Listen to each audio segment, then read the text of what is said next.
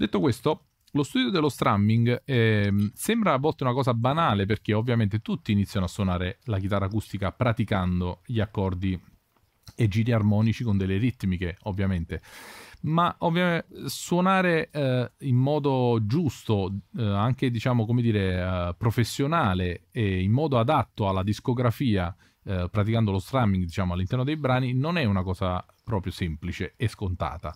Perché ovviamente diciamo il numero delle pennate il levare imbattere secondo la figurazione del brano secondo la scelta del voicing che facciamo e, e tutta un'altra serie di cose diciamo fanno di quello strumming diciamo possono fare di quello strumming diciamo una versione amatoriale e portarlo a una, vers- una versione invece eh, professionale. Quindi è importante diciamo curare determinati dettagli Adesso vi, vi, suggerisco una serie di esercizi che potete fare per migliorare da questo punto di vista. Ovviamente la caratteristica fondamentale è sempre la stessa, ovviamente praticare sul metronomo e ovviamente a velocità crescenti e anche in diverse posizioni perché dobbiamo allenare anche molto il passaggio fluido tra gli accordi nella progressione armonica.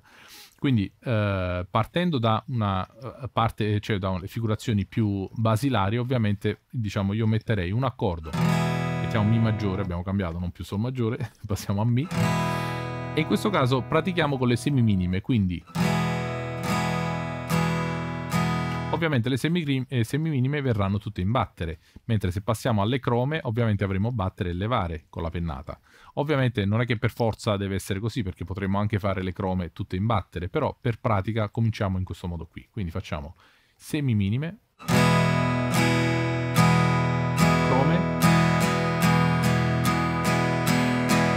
ripeto possiamo anche praticare.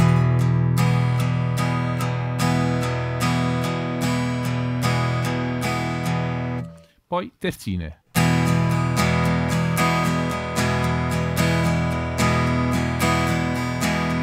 Che possiamo anche praticare quindi giù su giù giù per avere sempre l'accento in battere della pennata del downstroke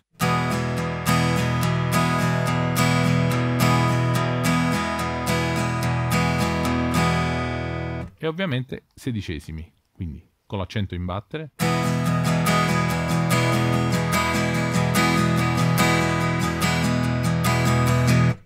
I sedicesimi ovviamente li possiamo, una pratica che vi consiglio di fare è quella praticamente di suonare gli accenti spostandoli non sempre in battere ma come seconda semicroma, sulla terza semicroma e sulla quarta semicroma. Tipo sulla prima e viene così. Seconda. Sulla terza, sulla quarta.